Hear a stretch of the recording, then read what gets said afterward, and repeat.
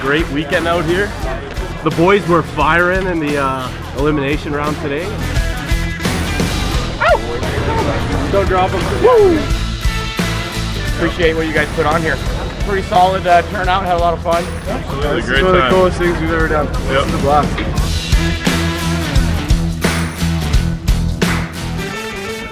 Great tournament too. Tournament. That was fun. Thanks again, guys. You guys put on a great event. This was awesome.